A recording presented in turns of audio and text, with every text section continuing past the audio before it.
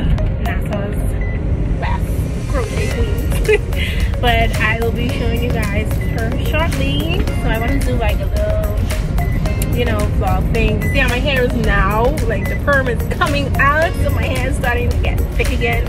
But don't worry about that. But today's gonna be fun. Um,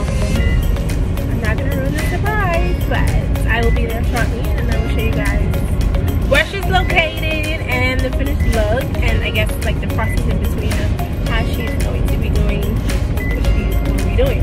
Okay, so I will see you guys in a bit. Bye.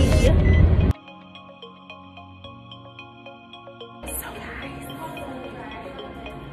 we are here with Bekuh and she's going to be doing what to me today? I love. anyway, so I'm gonna do like short clips. We- We're gonna figure this out, and that's gonna be it. So we're gonna start